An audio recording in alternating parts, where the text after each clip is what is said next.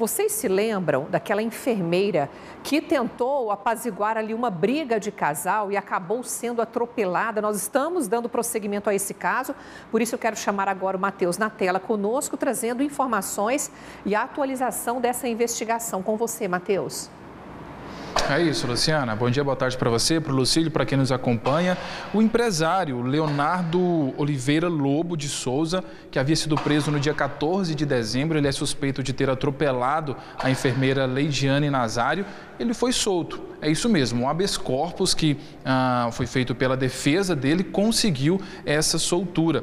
Para a gente lembrar um pouco desse caso, o atropelamento aconteceu no dia 24 de novembro do ano passado, lá no bairro Abaporu, aqui em Goiânia. E a enfermeira, desde então, ficou ah, pelo menos 20 dias internada em uma unidade de terapia intensiva. Nós acompanhamos esse caso bem de perto. Né? Para a gente lembrar o que, que aconteceu naquele dia, a Leidiane ela estava estacionada com a moto a mais ou menos uns 100 metros dessa briga foi quando ela viu que o homem estava ah, irritado, tentou apaziguar, mas o empresário entrou no carro e avançou sobre a moto dela a mais ou menos uns 100 metros de distância. Foi o suficiente para deixá-la de cadeira de rodas, precisou, ah, precisa passar por uma recuperação bem lenta. A gente sabe ah, como que é essa situação, porque nós acompanhamos de perto. E claro, com a soltura dele, fica aquela questão. E agora? A Leidiane gravou um vídeo para a gente e ela se disse muito preocupada, não só ela, mas toda a família dela. Vamos ver. Com isso eu me desestabilizei completamente, porque para mim a justiça estava sendo feita.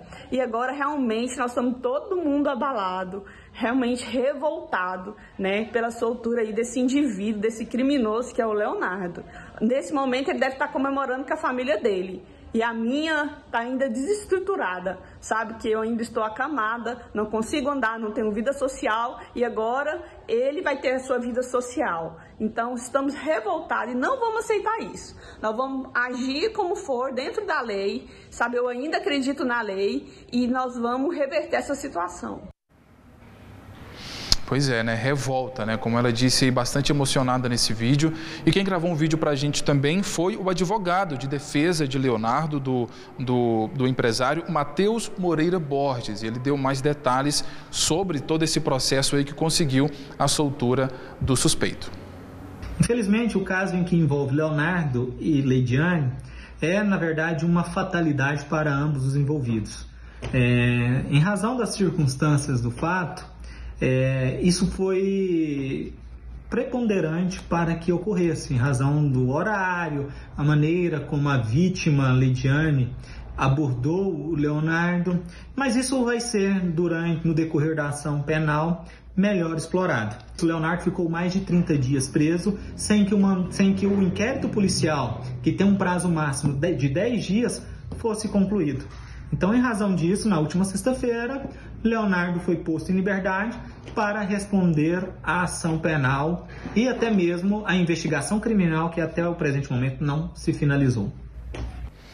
Então tá aí a explicação do advogado de defesa, então, do empresário Leonardo, como o advogado disse, então agora ele passa a responder todo esse processo do atropelamento em liberdade. A gente, sem dúvida nenhuma, vai ouvir a Leidiane mais algumas vezes. E falando em soltura, vocês se lembram daquele caso daquele homem de 27 anos que foi baleado pela polícia militar lá no setor São José, aqui em Goiânia? Ele estava jogando pedras em carros e até na própria viatura da polícia também. Ele parecia estar em um certo ah, uma espécie de surto psicótico.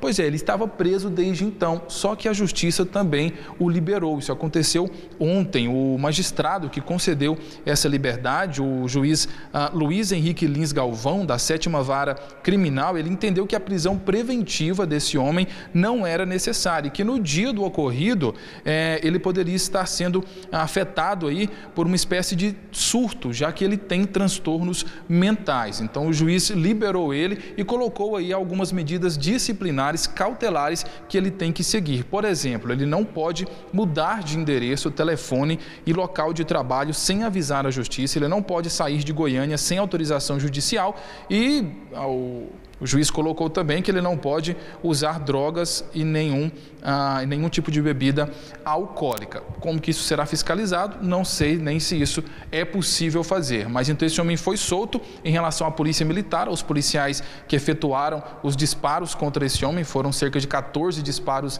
ah, em menos de 10 segundos, eles foram afastados das ruas ah, nos dias, né, logo após esse ocorrido. A gente continua acompanhando esse caso também. Luciana, Lucílio, volto com vocês. É, fica o questionamento, né, Matheus? Porque se ele é capaz de sair aí atirando pedras nos carros, se ele tem um problema psiquiátrico, ele precisa urgentemente de um acompanhamento, de um tratamento. Ele terá sanidade para cumprir a determinação da justiça, como não mudar de endereço, não ingerir bebida alcoólica e não usar drogas? Complicado, é, é difícil, viu? né? O Poder Judiciário decide, mas não tem um amparo social os poderes não se comunicam, né? O judiciário com o executivo, ele tem que ser tratado sim, como você bem disse, Luciana, e acompanhado, né? Em um local especializado.